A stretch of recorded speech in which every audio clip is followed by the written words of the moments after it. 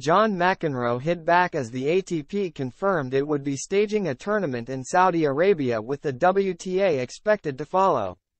John McEnroe has taken a shot at the U.S. government as he spoke out against tennis moving into Saudi Arabia. The ATP announced that the next-gen finals would be staged in Jeddah on a five-year deal while there are rumors the WTA is fielding an offer to hold their year-end finals in Riyadh. And Chris Evert joined McEnroe's calls to stop tournaments going to Saudi. Tennis is officially becoming part of Saudi Arabia's sporting takeover. Following in the footsteps of football and golf. On Thursday, the ATP confirmed that the 21 and under next-gen finals would be moving to Jeddah until 2028. Sports Illustrated has also reported that the WTA finals could move to Riyadh, meaning the top eight players of the year would be competing for the season-ending crown in Saudi Arabia. And McEnroe has officially had his say, noting that sports shouldn't be criticized for moving to the nation when the U.S. government had dealings with Saudi.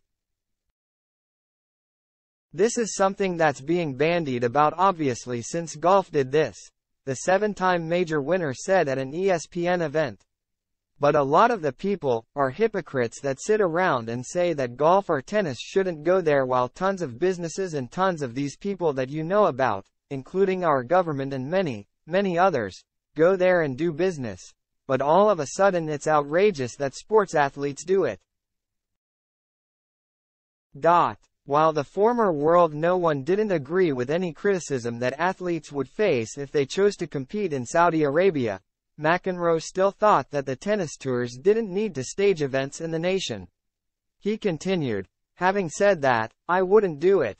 I don't think our sport needs it.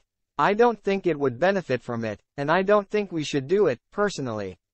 The American also echoed the words of Evert, who said she wouldn't play in Saudi Arabia but acknowledged that it wasn't their decision.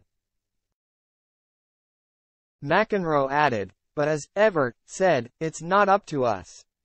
Someone else is going to make that decision. They're talking about the next gen finals going there, 21 and under. This is just something that I don't understand why we're going in that direction. While the ATP's move into Saudi Arabia currently only affects the top eight players aged 21 and under, the WTA could send its top stars to the nation.